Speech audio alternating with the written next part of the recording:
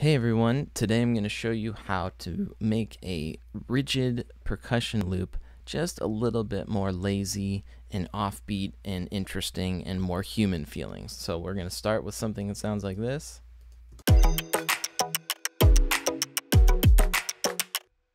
And end up with something that sounds a little bit more like this.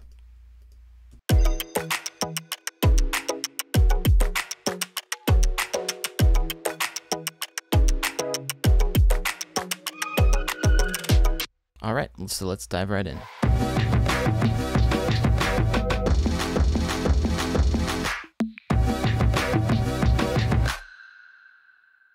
So I have a little uh, beat going here.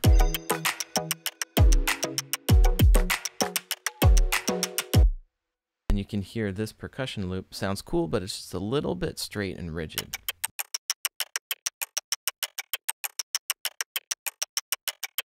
And I've already sort of messed with this and pitched it up and things like that.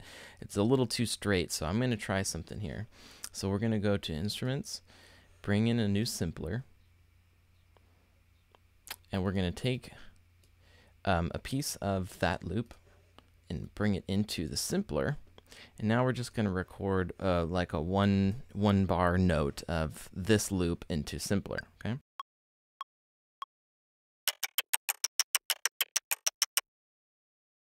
Just like that and quantize it. And I'll just make it one bar so it's easy. Loop it. All right, so now we've basically got the same exact thing here in the simpler track as we do in the audio track, uh, but now we can play with the simpler a little bit. So it should sound like this.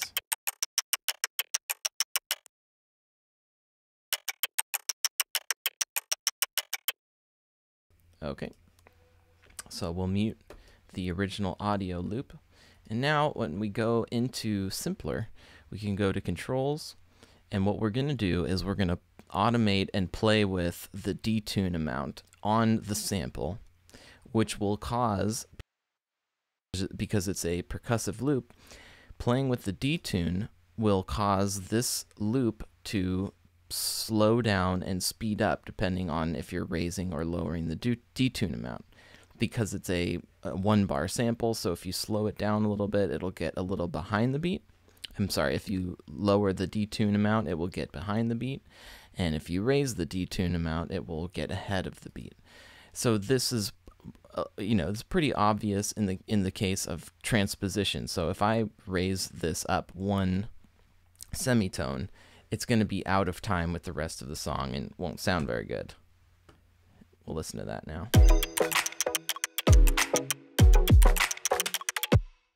So that's too much. If I lower it, again, it's going to be too much. Way too, way too slow, right? But what we can do is we can play with the detune, which will goes from zero cents to 50, I think. Uh, yeah, to 50 up and down. So from negative 50 to 50. And that would be half a semitone. So if we're playing within just that range of half a semitone below to half a semitone above, it will sort of play with the groove of it, but it won't be so extreme that it will sound too out of time. So there are a few different ways to do this that are kind of fun. One thing that you can do is map this parameter to one of your knobs on your MIDI keyboard. You can hit Command M to do some MIDI mapping.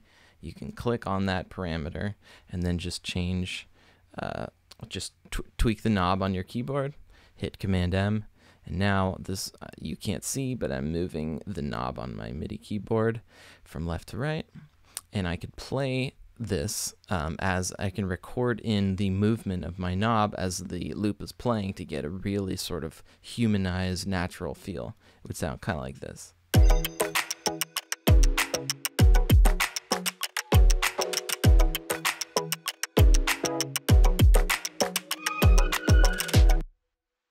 Right? That sounds kind of cool. It's a little more groovy and, and natural. So that's one way to do it. You can play it in. Or what we can do is automate this. So we can right click it, show automation in new lane, and it pops up here. And then I'm just going to make this bigger so we can see. Okay, so here's, let's set that to zero. So find the red line, so here's zero. So we can either draw something in, we can hit the letter B to bring up the pencil tool. And if you want greater granularity in this this pencil tool, you can hit command and it'll make us smaller incremental changes. So you can just, whatever, draw something like that.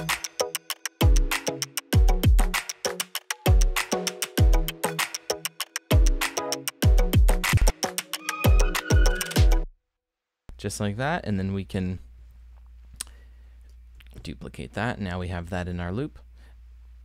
But there's one third and final way that you can do this which is kind of cool if you have max for live. So I'm going to duplicate this. Keep what we did. I'm going to duplicate it. And instead of having the automation I'm going to delete those. I'm going to show you a different way to use the max for live LFO device to do the same thing. So if we go to max for live max audio effect, LFO. Bring that in. And now this just creates a running LFO that we can map to that detune amount. So here it is. Hit map, detune, and there we go. We can slow, probably want to slow this down some and maybe create a little bit of jitter so it's kind of off off kilter Maybe something like that. See how that sounds.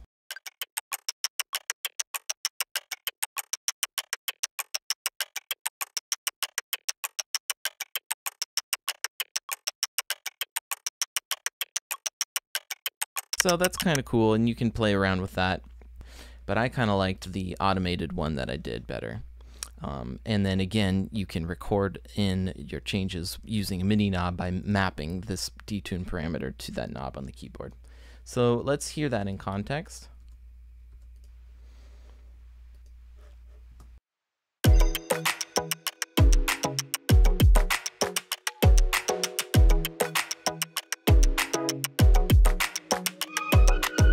Okay, and let's compare it to the original that we had.